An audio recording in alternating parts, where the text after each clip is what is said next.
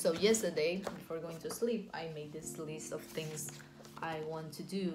The first one is set my intention here.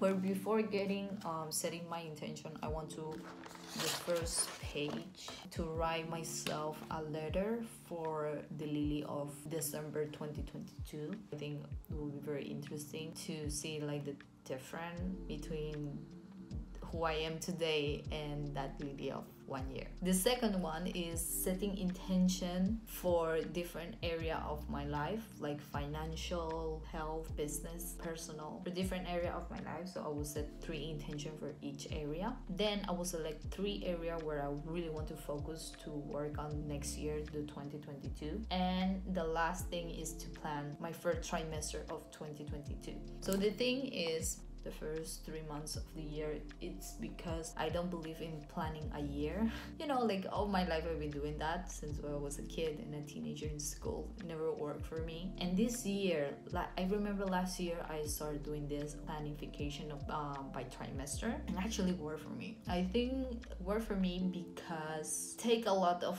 the pressure away of what i should do in a year. We are changing all the time. So i think this is so important to have it. Like if you always struggle to plan a year, maybe try planning the first three months. I've been doing a lot of reflection, things I really want to work for next year, besides like different area of my life, like especially on my business, finances. One of the things I really, really want to work is love.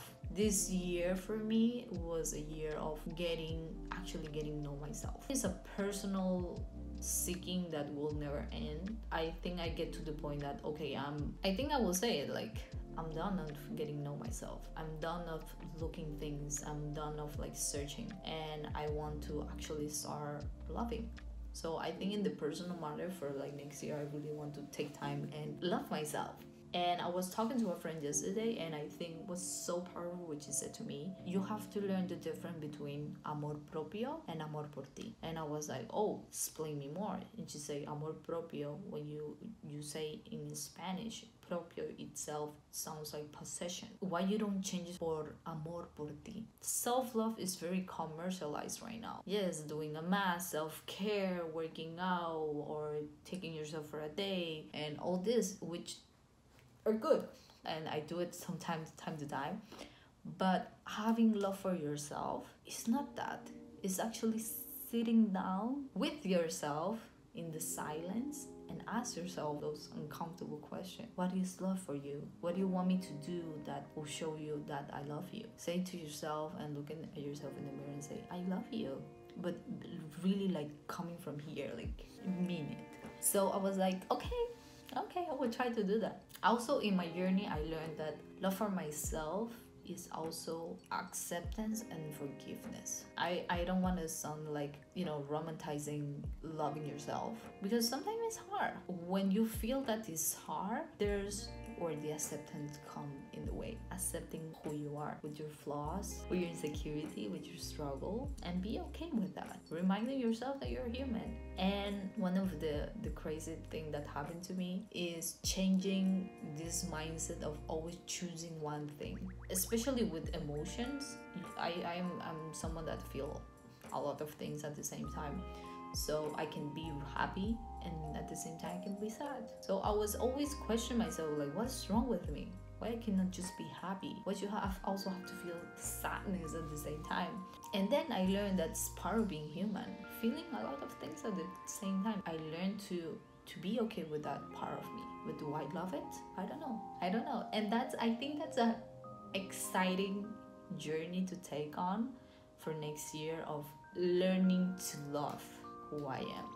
Not not even who I am.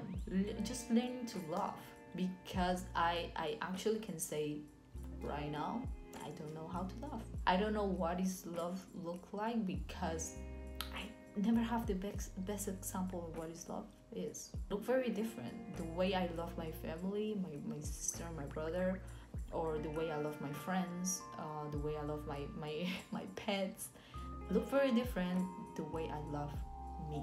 Doesn't matter how old are you to recognize I don't know how to love. And I thought that was love, you know, having like struggle struggling drama with other people and in your life that means that you love them.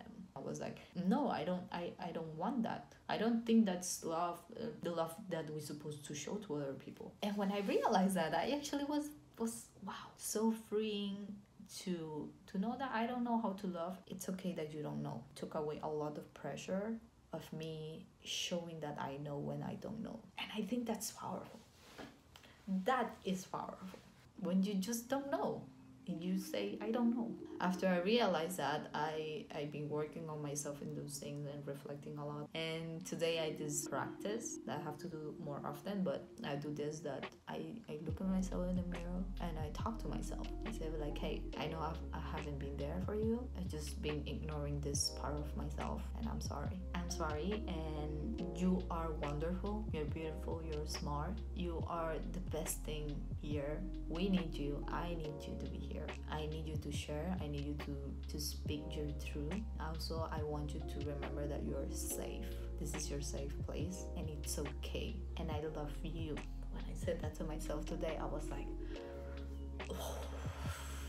even even now even now saying that like to the camera it's powerful. Saying that to yourself feeling protect feeling safe feeling love. Not because i'm this i have this i am this or i have this. No. The fact that you are here now is enough to be loved. That's mean unconditional love. There's no condition for me to to love me. Because if i say but or because that's a mean condition. When you say i love you because of this of what you do or because who you are that is conditional love. And when you love yourself there's no condition. I know it's so crazy that i actually start talking about this.